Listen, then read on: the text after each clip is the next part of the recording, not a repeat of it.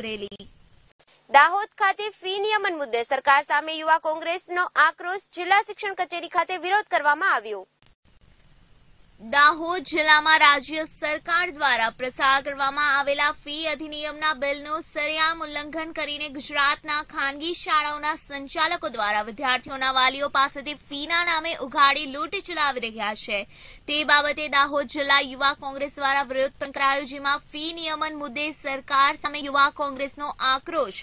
જિલ્લા શિક્ષણ કચેરી ખાતે વિરોધ કરવામાં આવ્યો હતો. સરકાર વિરોધી સૂત્રોચ્ચાર કરી નિયમો ભંગ કરનાર ખાનગી શાળાના સંચાલકો જિલ્લા શિક્ષણ અધિકારીને આવેદનપત્ર આપવામાં દ્વારા બનાવવા આવેલા ફી નિયામન કાયદાનું ખાનગી સંચાલકો દ્વારા લૂંટ કરવામાં આવે છે અને ગુજરાત સરકાર દ્વારા બનાવેલ આવેલ એફઆરસી જે કમિટીના નિયમોને આ લોકો ખાનગી સંચાલકો દ્વારા ઘોળીને પી ગયા તેના વિરોધમાં દાહોદ જિલ્લા યુવક કોંગ્રેસ દ્વારા વિરોધ પ્રદર્શન આવેદન આપવામાં આવ્યું છે.